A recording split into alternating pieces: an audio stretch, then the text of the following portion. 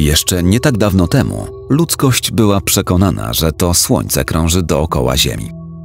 Dopiero w połowie XIX wieku oficjalnie uznano teorię heliocentryczną i anulowano zakaz wydawania najsłynniejszego z dzieł Mikołaja Kopernika.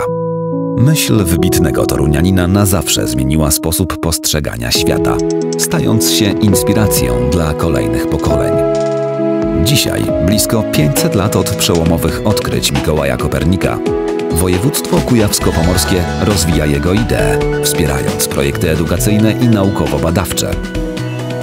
To właśnie tutaj zainicjowano budowę unikalnej w skali Polski i Europy sieci 14 obserwatoriów astronomicznych zlokalizowanych na obszarze tylko jednego województwa, tworząc w ten sposób wyjątkowe warunki do rozwoju polskiej astronomii. Kujawsko-Pomorskie. Lubię tu być.